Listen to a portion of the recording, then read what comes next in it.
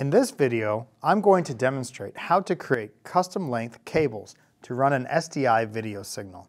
To do this, make sure that you have the correct tools, you have the cable, and you have the connectors. With your cable and connectors, make sure that the cable size is the same as your connectors. In this case, I have an RG6 cable, and my connectors fit an RG6 connection. I bought both of these as, at a local hardware store. I'm going to measure out the cable that I'm going to use. In this case, I'm just using it as a test cable to make sure cameras and equipment are working. I'm going to just measure off a little bit from the spool of cable that I have. When I have the amount that I want, I'm going to cut the cable. And I want to get a nice flat cut. So I have a pair of wire cutters.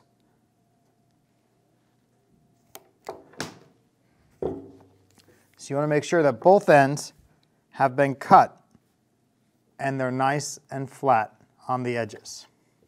If you need to cut again, it is okay to do that. When you measure your cables, make sure to give a little extra space than you may need. This will allow for slack or a little extra room if you need it. Once you have your cable cut to the correct size, you're going to strip the cable of the outer casing as well as the insulation. To do that, there's this special tool. It looks like this. And this tool basically lets you put the cable in and you can spin it around. There's this black slider here, which basically indicates how big the cable is going to be cut. So I make sure the slider's in place. I then want to push my finger down, which will open up where the blade is for the cable.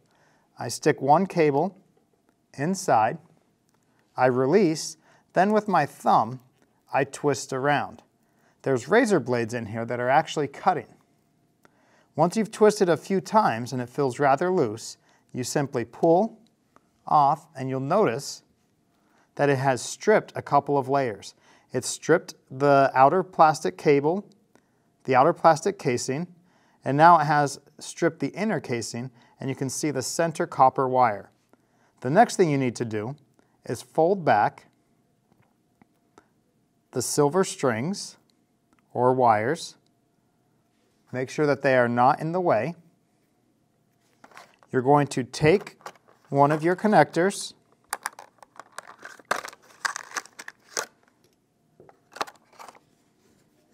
Now these connectors have a clear window so you can see when they are pushed on. I'm going to push this connector on as far as I can do it like so.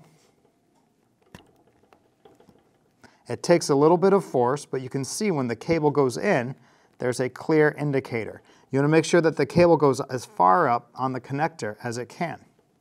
So I push this in. Next you take your tool. This is a Klein's tool. And you want to put the cable inside this area, this pocket, and you're going to press down. If you need to adjust the size of your tool, you just simply spin and this will adjust the position of where you're going to connect this in. I put this in and when you push it down, you want to make sure it closes off that clear gap that's inside there. Once you have squeezed it in there,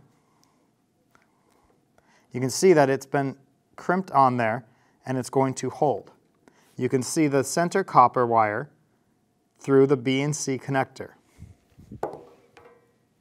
You're going to complete the process with the other side. You're going to connect the BNC connector to the edge.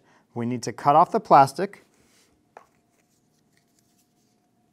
I want to get rid of the casing from the previous one. I simply press down and I can dump that out. I want to make sure it gets in the garbage.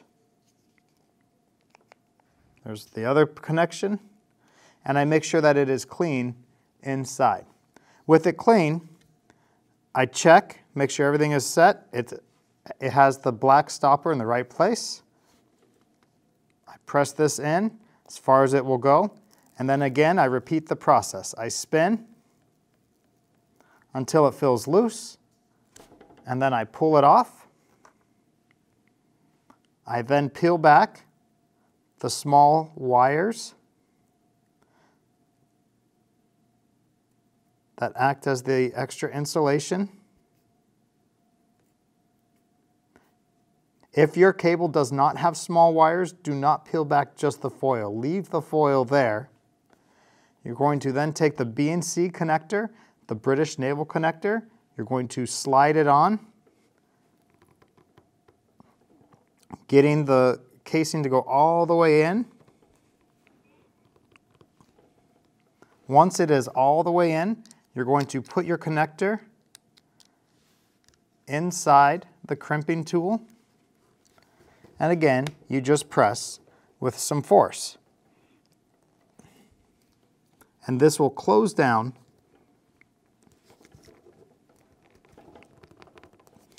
You want to make sure that it's closed and that clear, that clear space has closed. This will indicate it is finished. Then pull to make sure that it is tight, and then what you will do is test this with your cameras. So you want to make sure that always test your cables before you use them. You want to plug them in, you push, you slide it on and twist. Connect the other end to your TV or your source and make sure that everything is working. If everything is good, then this cable is ready to go and be put into use. This is called coaxial cable or coax cable. You're able to run an SDI video signal through coax cable for a few hundred feet. This makes it a great option for video production. Different cables have different run lengths. Make sure that you check the run length of the cable that you are using to make sure that it is sufficient for the job that you are doing.